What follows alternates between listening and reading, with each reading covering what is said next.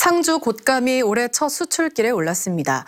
이번에 수출길에 오른 곶감은 남상주 농협에서 생산된 1톤 3천만 원 가량의 곶감으로 베트남 하노이로 수출돼 현지 마트에서 판매될 예정입니다. 상주시는 올해 동남아시아와 미국, 캐나다, 뉴질랜드 등 해외 각국에 상주 곶감 40톤 10억 원 정도를 수출하겠다는 목표입니다.